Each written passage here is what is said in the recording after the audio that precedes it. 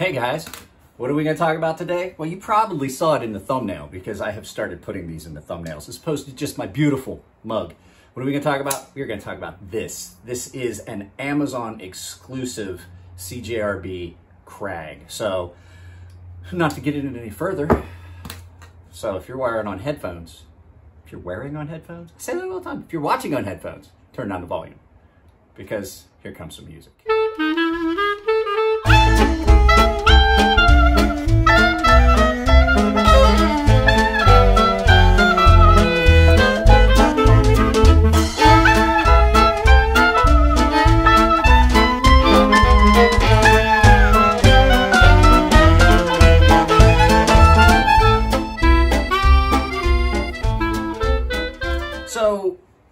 This is the CJRB Artisan CJRB Crag Amazon exclusive. And I knew this was coming out and I got one of these from Russell at Artisan. And this is, this is a knife that I've already done a review on. It's just a different variant, but I really like this one a lot. The first one I had was the CJRB Crag with the recoil lock and it was, uh, I believe it was uh, titanium and D2. I don't remember, it, was it titanium? I don't really remember. I wasn't such a fan of it because of the lock. Now this is a liner lock version of the same knife done in a different blade steel and it feels like it was ground significantly thinner. This is a very thin knife. So uh, just super attractive though. That's what, that's what caught my eye. So what we're gonna do is we're not gonna stand here and talk about it too much. This might not be a real long video because we've already done a video about this knife. This is just a very different variant. So let's go ahead and without any further ado, we're gonna flip this around. We're gonna meet on the Chris Reeves microfiber cloth and take a good close look at it. So I just wanna start, before we even do it, I just wanna give you a cursory glance at this. This is probably, let me turn this off. I think the light, natural light might be better.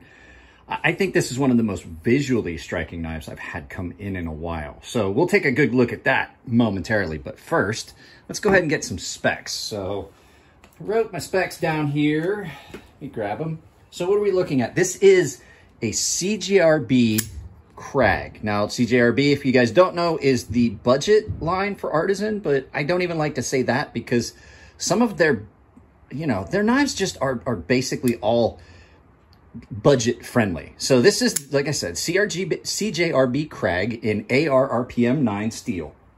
Uh, you're looking at a blade length of 3.43 inches. Uh, blade thickness is 0.13.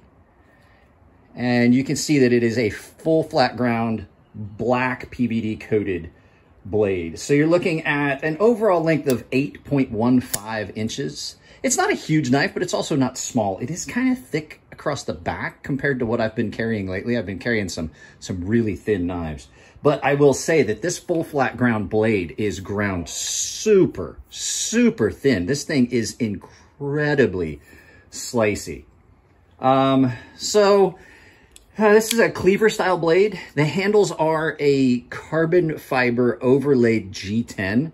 I do know that on Amazon it does say carbon fiber, but it's it's and carbon fiber overlaid G10, which allows them to keep the cost down, but still gives you that same effect, and it doesn't affect the weight all that much. Um, weight on this is six ounces, is what they've got listed. But let's go ahead and uh, let's go ahead and bring that up and put this put it on a scale and see what the scale. We have our Nick Shabazz friendly scale here. So let's see here. In ounces, you are looking at, they said six ounces, and it is five and one eighth ounces according to my scale. Let's make sure I have it zeroed. It's actually a little bit lighter.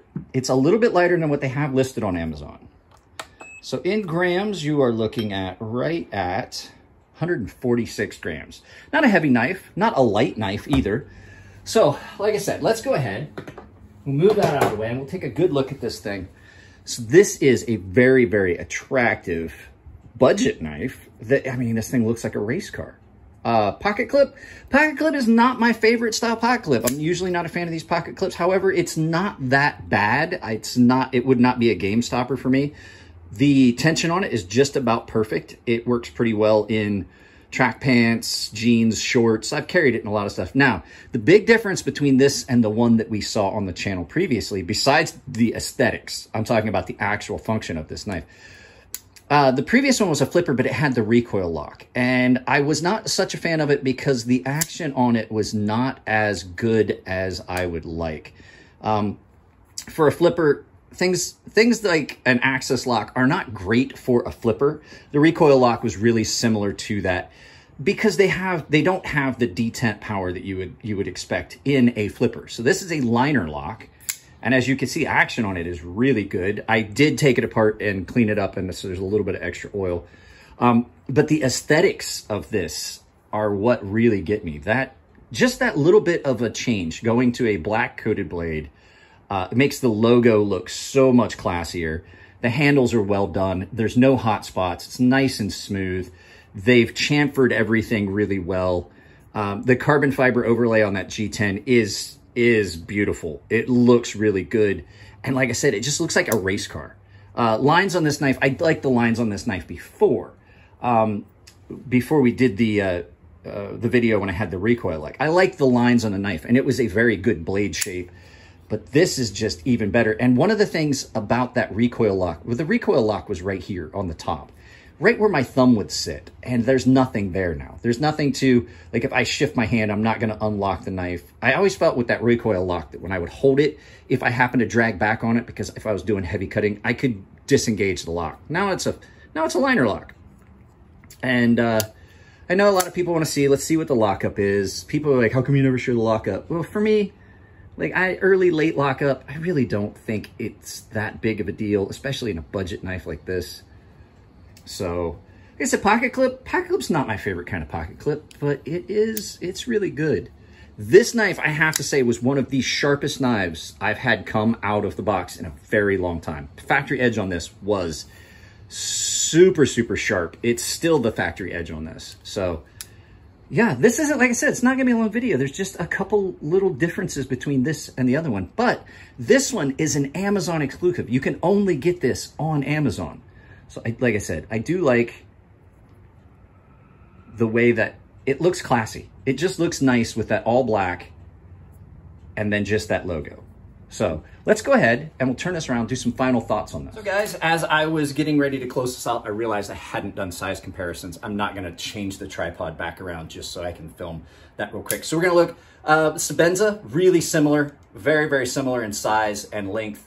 Uh, this is actually I think it fills my hand a little bit better than the Sebenza does. It's not any more comfortable. It just feels different in hand. Uh, so Sebenza, another really good comparison because I have them both. The Artisan Mastiff, uh, they're both really similar. They're both cleavers, uh, same company. The Mastiff is just a bigger knife overall. This would be, I would say this would be the comparison between this knife and the Sheepdog. The Sheepdog and this knife are very similar in size. So this is about oh, I want to say about in maybe an inch shorter overall than this. Another comparison we use a lot, here we go. People that know knives uh, know what the Benchmade 940 looks like, a little bit larger than the Benchmade 940 overall. And another knife that everyone knows, just to give you a bunch of comparisons, is the Spyderco Endura, which is definitely a very large knife. Uh, I forget how much bigger, uh, how, how big the uh, Endura actually is. So yes, there's your size comparisons. Just final thoughts on this, guys. This is a really, really good knife. Um, I really like it. I like it a lot better than I liked the Recoil Lock Crag, which was a good knife. I did a giveaway for that. I'm not sure what's going to happen with this knife yet. So uh, it's it's a nice little knife. Just don't know if I need any more knives in my collection. Uh, so just so you know, there's not going to be a size comparison on this because there's only one place you can get this specific version of this knife, and that is Amazon. So this is $49.99. It's a $50 knife on, on Amazon. And I'm not gonna lie to you, the bells and whistles on this would put it, I expected it to be more. When I saw pictures of it, um, I expected it to cost more. There's something to be said about just a splash of color on an all black, on an all black knife, just a couple of spots of color.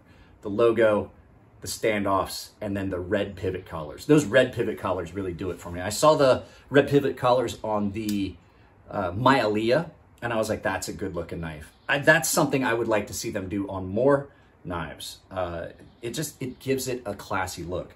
So, and red and, black, red and black are some of my favorite colors. Anyway, a lot of times they don't work on knives, but there are some knives that it just really, really pops on.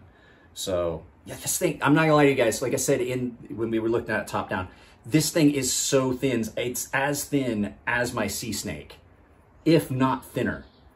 Uh, and it just slices, slices like a champ. So, and a lot of people ask about the ARPM 9 and like it's untested and there's been questions about it. People have said things about it on the internet. I have not found any issues with this. I don't want to go out and say that like Outpost 76 does not know what he's doing when it comes to sharpening. I'm just going to say the issues that some people have said they've had with this steel, which I've only ever heard one person actually say it, and then a bunch of people kind of bandwagoned it. Um, I have not had those issues in this steel. Uh, not trying to not trying to play it up that they may not have had issues. I'm just saying I have yet to experience it, and I have had ooh, probably 15 of the sea snakes come through the house that other people have sharpened that have been out for reviewers, knives that I sharpened before they went out to reviewers because they had been out for review and maybe got used and dull. So just all in all, I have not experienced it with that steel. So just keep that in mind. Your, your experience may vary. So guys, trying to get some content up. Uh, be patient. I am doing the stuff for the DVBE. Uh, I actually did the work and I'm getting paid for it next week. Uh, we, probably are going to go look at some properties today. It's just hectic. So if videos don't go up, please be forgiving. I did notice that we've lost a couple people on the memberships. Uh, that kind of does suck, but you know, I understand it. These times, times kind of suck right now if you're trying to, uh, to, to pay for things. So I appreciate everybody that does all that. Thank you to all the members. Uh, I've got some money saved up that I'm going to try and do something special for the channel with, uh, that I've saved up for the channel from, from the, from the members. So uh, guys, if you like the videos, give them a thumbs up. If you don't like them, give them a thumbs down, but try to tell me why. If you really like the channel, you can give me a membership. And if you like the video in particular, there's also an applause button where you can donate directly to the channel on specific videos just because you liked them. So that's pretty much it, guys. I know this is probably kind of a helter-skelter video uh, because I'm kind of lots of caffeine, trying to get so many things done. It's hard to keep a clear train of thought when there's so many things going on, but I will try to keep the videos up. Guys, I love you all. Have a safe weekend. If you're watching this on the weekend, it's the weekend for me. So you guys take it easy. And I'll see you in the next video, which is probably just in a few minutes.